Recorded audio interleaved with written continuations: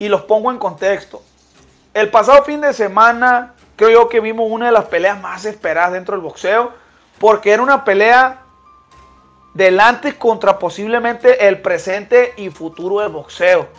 Digo antes porque si perdía el gallo ya se quedaba en el antes, si ganaba se quedaba en el presente y si perdía Van Rodríguez se quedaba en el futuro y si ganaba se quedaba en el presente. Sorpresivamente gana GC Van Rodríguez de una manera espectacular, ahorita vamos a hablar de eso.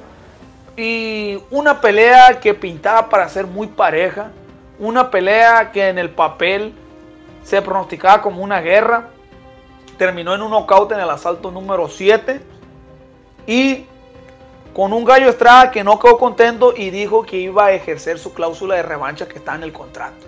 Te pregunto yo a ti, luego de lo que vimos, sin demeritar al gallo Estrada, que es un es una leyenda activa dentro del boxeo, que nos regaló peleas que nos pusieron al filo de la butaca y la piel chinita y nos regaló gloria dentro, dentro del boxeo, pero nos tenemos que ser imparciales. Te pregunto yo a ti, ¿debería tener revancha esta pelea? No, la verdad no, es como si habláramos de vaquero Oscar Valdés. que va a tener revancha. ¿eh? Hay peleas que la verdad, cuando el resultado es tan claro y tan sólido y no se llega al doceavo round donde, ah, pues quedan esas ganas de esperar una revancha, pues no, no creo que sea necesario. Creo que el Gallo Estrada, pues, como todos lo dicen, pues sí tuvo su época dorada, tuvo sus mejores momentos y es normal la edad.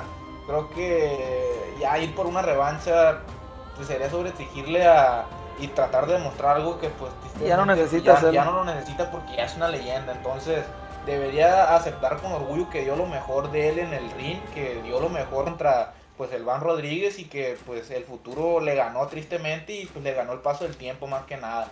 Debería darle lo mejor a Van Rodríguez que demuestre que pues él es el sucesor y que se va a quedar con la batuta en la 115. Y fíjense, Don Nacho Beristain un día antes dijo que el Gallo Estrada era un mejor peleador que Van Rodríguez, pero que iba a perder contra el boxeador Gabacho, así lo dijo, porque el tiempo no perdona, dijo. ¿Y cuánta razón tenía Don Nacho? quien, como les dije yo, paren oreja porque aunque es muy polémico en sus declaraciones, cuando habla y da pronósticos, rara vez se equivoca. ¿Por qué? Por la experiencia. Entonces, yo creo que si el gallo no hubiera tumbado al Van Rodríguez, pensar en una revancha sería algo ilógico. Le ayuda el, que lo haya tumbado a, a, Van Rodríguez y le haya dado su primer countdown, creo que se dice. Su primer tumbada, vaya.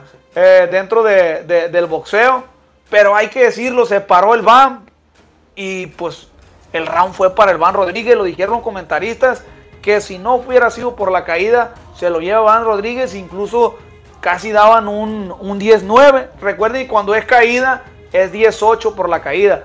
Entonces casi daban un 10-9 porque el Van literal ganó el round.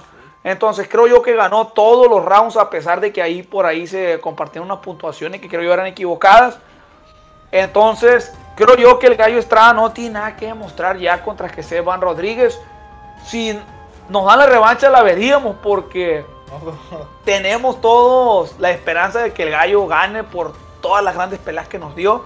Pero si somos honestos, somos parciales y somos centrados para hablar del tema, Creo yo que veríamos más de lo mismo porque José Van Rodríguez no está ni en su prime. Es un peleador que va en ascenso todavía y no le ganó al gallo. Le pasó por arriba. Por la edad, por el estilo, por lo que ustedes quieran, pero José Van Rodríguez es un peleadorazo. Es un peleadorazo. Entonces creo yo que el gallo Estrada no debería de hacer uso de la cláusula de revancha, pero si lo hace, ojalá que le sirva ya esta pelea de experiencia y es un peleador súper experimentado. Creo yo que va a saber hacer un nuevo plan de pelea para a lo mejor darle una pelea más competitiva al Van Rodríguez. Creo yo, y lo digo triste, que el Van ganaría de nuevo, pero ojalá que nos sorprendiera y le gane a José Van Rodríguez. Y nos regale otra trilogía de las que nos regala. Así es, algo que está acostumbrado y creo que por eso mismo pide una revancha. A lo mejor tiene la confianza, luego de porque uno puede decir, ah, yo lo miré y es pues está mejor, el BAM se destacó mejor. Pero el que está en el ring es el que en realidad sabe, siente y pues tal vez tenga la confianza y se sienta para poder dar un resultado y una sorpresa. Pero nada que reprocharle al gallo, más bien agradecerle todo lo que ha hecho dentro del boxeo. y nos regaló muchas peleas, muchos tiros que la verdad fueron casi, casi de película. Pero pues como dijo Nacho Beristain, el tiempo no perdona, tristemente, y más en los deportistas de alto rendimiento. Pero pues, esta fue la última pregunta.